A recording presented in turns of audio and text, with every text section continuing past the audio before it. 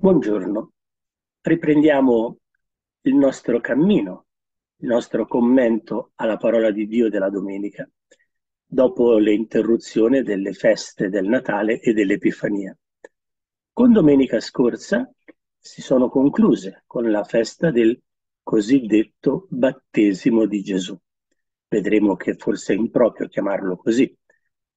E eh, L'inizio del tempo ordinario, così si chiama, il tempo che intercorre tra la fine delle feste di Natale e l'Epifania e l'inizio della Quaresima, questo tempo ordinario ci ripresenta di nuovo la figura del Battista che propone, che presenta e diciamo annuncia la venuta di Gesù all'inizio della sua predicazione. Ecco allora che incontriamo di nuovo la figura del Battista. Le letture che questa domenica avremo sono il brano dal, tratto dal Vangelo di Giovanni al capitolo 1 ai versetti 29 e 34. Ecco, ci incontriamo la figura del Battista e allora ci soffermiamo quest'oggi un po' per conoscerlo meglio, conoscere un attimo meglio la sua realtà, i suoi rapporti con Gesù e i suoi rapporti anche nel mondo del, al tempo di Gesù, nell'ambiente religioso che frequentava. E potremmo anche dire una parola su quello che sono i motivi che hanno spinto gli evangelisti a trattare e a trattare nel modo che conosciamo la figura del Battista in relazione a Gesù. Ecco, allora primo elemento, proviamo un attimo così a conoscere meglio quest'uomo. Noi sappiamo che viene da una famiglia sacerdotale e il padre era sacerdote, Zaccaria, che lui abbandona nella sua attività, lo troviamo che esce, abbandona l'ambiente familiare sacerdotale. E gli evangelisti ci narrano la sua nascita con lo stile e il genere che usavano per le persone importanti del Vecchio Testamento nella storia biblica, per i personaggi importanti, quindi delle nascite con caratteristiche particolari. Lui stesso riferisce che ha avuto, è stato inviato, ha avuto come una chiamata da Dio ed è stato inviato e sceglie questa sua missione andando a vivere e a predicare nel deserto, vestendo e vivendo come uno dei profeti antichi e viene visto da, dalla gente come l'ultimo dei profeti prima dell'arrivo del Messia. Così lo indicherà anche Gesù e veniva indicato come il ritorno di Elia, quindi una figura che impersonava Elia e che testimoniava l'arrivo del Messia. La sua predicazione annuncia un giudizio radicale, un giudizio severo nei confronti dei, di chi non è eh, onesto, di chi non è osservante della legge. A lui attraverso la frase la scure è già posta alla radice dell'albero. Ecco, annuncia una separazione netta tra i buoni e i cattivi e richiama quindi soprattutto le categorie dei peccatori, a lui vanno i pubblicani, vanno i militari e a loro dà un, un invito ad una vita più onesta, a una conversione. Ma condanna anche senza, con parole durissime, le categorie dei religiosi, quelli che noi conosciamo come gli scribi, i teologi, e anche i pii, i devoti, quelli farisei. Li condanna soprattutto per la loro esteriorità, perché non quello che noi chiamiamo la loro ipocrisia, che Gesù pure metterà in risalto, e quindi vanno da lui per farsi vedere, ma non per migliorare, cambiare, convertire la loro vita. E condanna anche eh, senza appello i potenti. Ha il coraggio di denunciare perfino Erode, che era il re, per il suo eh, atto immorale nello scegliere di sposarsi con sua cognata che aveva già dei figli. Ecco allora alcuni degli elementi, dei tratti caratteristici di quest'uomo e eh, ha un seguito di discepoli e pratica i digiuni, pratica le abluzioni rituali secondo la legge della religiosità ebraica, quindi è un fedele osservante della legge e eh, usa, diciamo, sottolineare il segno della conversione dei, di coloro che lo seguivano, dei suoi discepoli e dei suoi fedeli, possiamo chiamarli così, attraverso l'immersione nell'acqua, che era un segno usato anche già nella tradizione ebraica, e quindi questo segno di conversione. Usiamo la parola immersione e non battesimo, anche se tradizionalmente si usa questa parola, perché con, così possiamo distinguere ciò che faceva Giovanni da ciò che possiamo dire oggi facciamo noi, neanche che faceva Gesù. Quello è del segno che oggi facciamo noi dal nostro battesimo, perché era molto diverso, come sarà diverso quello che farà Gesù. Ecco allora usava immergere i suoi fedeli nell'acqua come segno di conversione. Viene a causa proprio delle denunce verso il potere, viene imprigionato da Erode, nonostante che Erode lo apprezzasse. Erode eh, lo amava volentieri ascoltarlo e sarà costretto ad ucciderlo per la, diciamo, la gelosia, per l'invidia e la reazione sdegnata della sua moglie Erodiade.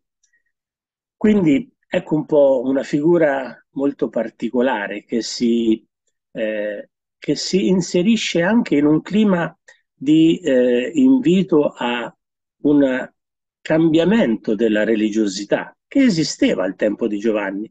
Possiamo ricordare qui che c'erano anche comunità di persone che avevano lasciato un po' la religiosità del Tempio, la religiosità ufficiale, istituzionale, perché era diventata eh, soltanto formale, era diventata non eh, vera, non ess- diciamo essenziale ed era diventata solo uno strumento per i propri comodi, per i propri arricchimenti, per le proprie ambizioni, ma non era più un vero culto a Dio. E queste erano un po' queste comunità che si ritrovavano eh, col nome di Esseni.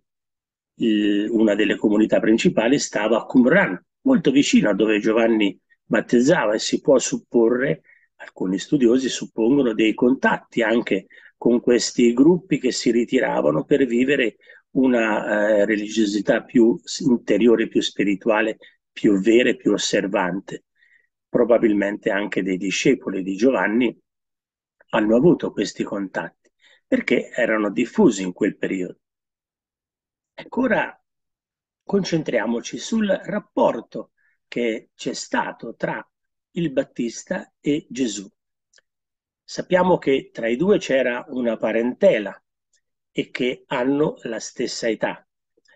La loro relazione, potremmo dire, gli evangelisti ce la presentano fin dal concepimento nel momento della visitazione di Maria ad Elisabetta. Giovanni inizia la sua vita, la sua vita pubblica, la sua vita di predicazione e eh, per primo rispetto a Gesù e usa, come abbiamo visto, il segno distintivo per i suoi discepoli dell'immersione dell'acqua. Gesù si unisce alla gente inizialmente, si unisce alla gente che segue Giovanni e si unisce anche alla gente che accoglie il segno dell'immersione, ma al momento dell'immersione o comunque in quella circostanza, quel segno non è più il segno di una conversione, ma diventa il momento in cui eh, gli evangelisti ci presentano la manifestazione di Gesù, il, il suo essere Messia, cioè l'inviato da parte di Dio, e il suo essere figlio di Dio. Questi sono attraverso i segni che in quel momento ci vengono descritti. Quindi eh, sarà una, un, un, momento particolare totalmente diverso da quello che significava l'immersione nell'acqua per il, i fedeli che seguivano Giovanni. Probabilmente possiamo anche pensare che finché Giovanni non è stato imprigionato, Gesù possa avere seguito in qualche modo l'insegnamento, la predicazione del Battista, anche perché vediamo che prenderà, inizierà la sua vita, abbandonerà il Giordano, abbandonerà il sud della Giudea e si recherà al nord quando Giovanni viene imprigionato. Quindi quando lui smette di poter di predicare, Gesù ne prenderà, potremmo dire quasi il posto, inizierà la sua vita pubblica. Come Giovanni il Battista ha reso testimonianza nel Vangelo di oggi, lo sentiamo, Giovanni il Battista ha reso testimonianza a Gesù, lo ha indicato, aveva abbastanza chiaro, gli era stato comunicato, lui dice, colui che mi ha inviato mi ha detto, quindi gli era stato in qualche modo comunicato da Dio come profeta che Gesù, colui su cui scendeva lo Spirito Santo, sarebbe stato il Messia. E quindi Giovanni lo indica ai suoi discepoli, alcuni dei quali si faranno discepoli di Gesù, lo indica alla gente, quindi ha chiaro che non è lui il Messia, ma è Gesù che doveva venire. E dall'altra parte Gesù renderà testimonianza a Giovanni dicendo chi siete andati a vedere, quindi eh, riconoscendo la funzione di grande profeta, di annunciatore della, delle esigenze di Dio, ma gli riconoscerà anche che non è entrato nel regno, che è rimasto l'ultimo dei grandi prima della novità portata da lui. Dice il più grande dei figli di donna, ma è il più piccolo di quelli che entrano nel regno dei cieli.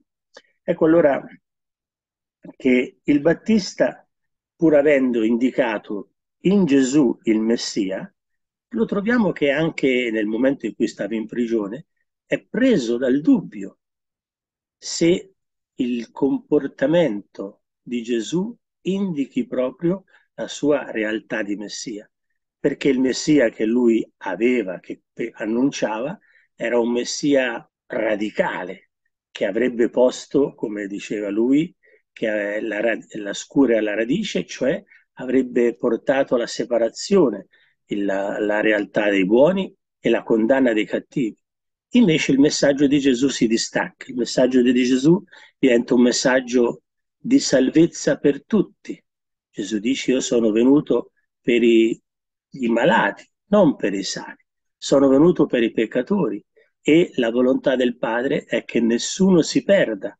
Quindi tutta la predicazione di Gesù sarà l'annuncio di Gesù, sarà un annuncio di misericordia, una possibilità di salvezza per tutti. E questo si distaccava molto dalle attese del Battista. Ecco, possiamo aggiungere un altro aspetto che lega queste due persone, cioè il rapporto che c'era tra i discepoli. Sia Gesù sia Giovanni sono seguiti da un gruppo di discepoli, un gruppo di discepoli i quali eh, sostengono accolgono l'insegnamento reciproco del Maestro.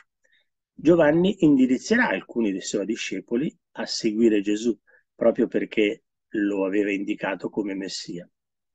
E secondo gli evangelisti, sia i discepoli di Giovanni che quelli di Gesù usavano il segno dell'immersione. Abbiamo degli accenni in cui sembra che anche i discepoli di Gesù immergessero nell'acqua, battezzassero, noi usiamo dire, ma non è, è un po' improprio, immergessero nell'acqua come segno di conversione. E vediamo anche che c'era una, una, una frase dove si dice che i farisei eh, avevano sentito dire che i discepoli di Gesù facevano più adepti dei discepoli di Giovanni. Quindi questo ci dice che siamo in un ambiente un po' quasi di competizione delle due eh, scuole di, eh, di, spiritualità, possiamo dire.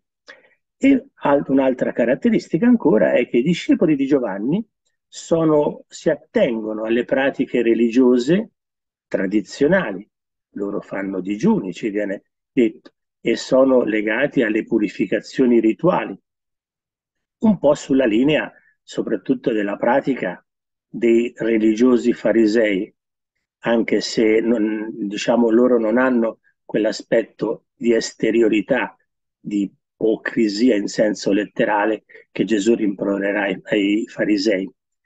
Mentre i discepoli di Gesù non, non si curano di questo perché il contenuto dell'insegnamento di Gesù è il, l'andare all'essenziale, cioè di capire che cos'è più importante, se è l'esteriorità, le purificazioni esteriori o se è la purezza del cuore, delle intenzioni con cui si opera, eccetera. E quindi Gesù cercherà di esprimere eh, non tanto la penitenza, l'invito ai digiuni, quanto di vivere la gioia della novità che lui porta, che esprimerà con il concetto del vino nuovo in otri nuovi. Ecco, ora un pensiero lo dedichiamo a comprendere la realtà che esisteva al tempo in cui i Vangeli sono stati scritti, perché noi dobbiamo sempre tenere presente che i testi che noi abbiamo risalgono a parecchi anni dopo la morte di Gesù, 30, 40, forse 50 anni, 60. Quindi quando le, le comunità sono già da tempo in, in piena attività, vivono e eh, lo, gli autori si riferiscono a situazioni concrete del proprio tempo, per cui i propri lettori eh, sono un po' l'oggetto della preoccupazione dell'autore. Se gli evangelisti scrivono è perché devono trasmettere dei messaggi a quelli del loro tempo anche. E allora sia gli atti degli apostoli e sia Paolo ci testimoniano che esisteva contemporaneamente alle prime comunità cristiane ancora anche delle comunità giovannee che si rifacevano all'insegnamento del Battista e che noi, per esempio, Paolo ci dice, conoscevano soltanto il battesimo di Giovanni. Paolo, quando andrà a Efeso, incontrerà Apollo che eh, dice conosceva soltanto il battesimo di Giovanni, non conosceva l'annuncio e il messaggio di Gesù. E quindi era eh, necessario chiarire un po' le loro intenzioni, le, le, i loro rapporti, diciamo, tra queste comunità.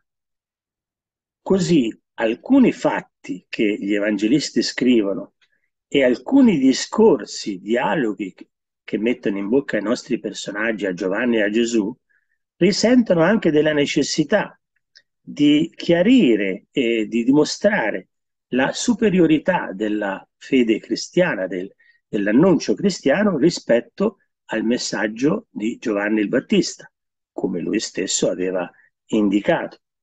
E quindi a rispetto alle comunità cristiane che erano come un po' un sviluppo delle comunità giovannee. Non dovevano contrapporsi, ma dovevano crescere verso il messaggio di Gesù un po' come Giovanni aveva detto che era, la sua funzione era preparatoria rispetto, era un po' il precursore, rispetto al messaggio cristiano, all'annuncio di Gesù.